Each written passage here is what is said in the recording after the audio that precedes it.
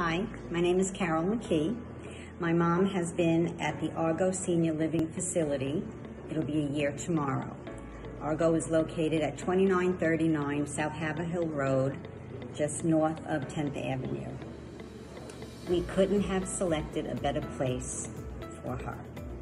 The staff is incredible, from the executive director, Winsome McLeod, the nursing director, Clara, the activities director, Joanne, and the entire clinical staff of hard-working, compassionate CNAs. This team has one purpose and one purpose only, and that is to care for all the residents. Especially now with this pandemic, Winsome has taken painstaking measures to ensure the safety of her staff and all the residents at Argo Senior Living.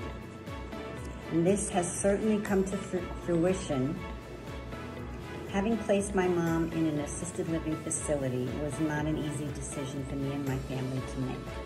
However, after being witness to what these individuals are made of, are capable of, the long hours they work, the safety of my mom's well-being, I can honestly say I have peace with our decision.